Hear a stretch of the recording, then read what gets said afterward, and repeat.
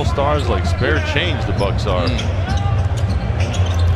Bucks finishing with the best regular season record. TJ He approaches his job. Still the first in, the last to leave. Could be there. Yeah, by Zhaire Smith. Infectious personality. Well, stop the presses. Boban Marjanovic. All three of his career three-pointers coming this season as a 76 sets. Why not?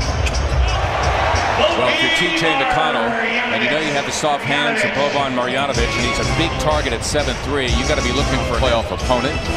That said, it could certainly be the Orlando Magic, but if they do face the Nets, oh, Marjanovic, wow, what a pass to Scott. That was beautifully done by Boban Marjanovic.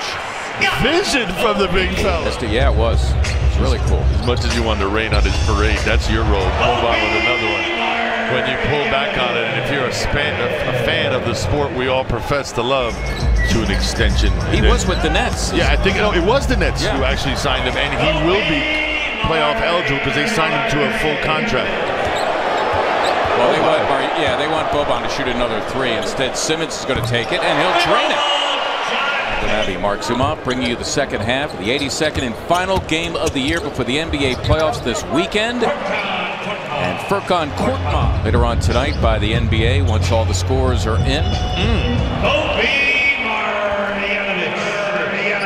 Now, usually he gets it there, and he's in a position because of where he's on the floor.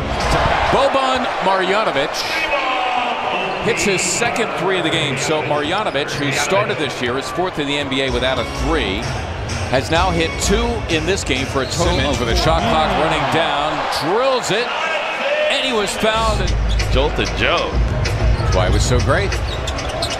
Attention to detail.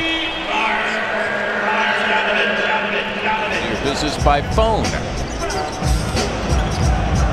Get out of his way. 18 for Marjanovic. That's one away from tying a season high. Sixers pregame live as Zhaire Smith hits the three, smiling as he